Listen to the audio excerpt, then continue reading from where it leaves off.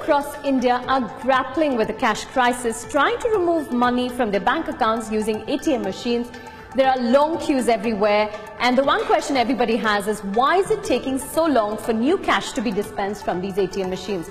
Well, this is what a regular ATM machine looks like, and once you open it up, this is how it looks. And you can see here the screen where you enter your account details, and technically the money should come out of this slot. But this money is fed through three or four boxes depending on the type of ATM. So there's one for 100 rupees, two for 500 rupees and one for 1000 rupees. But right now, this is the only one that's working because the old 100 rupee notes are still valid, whereas these two slots are no longer valid.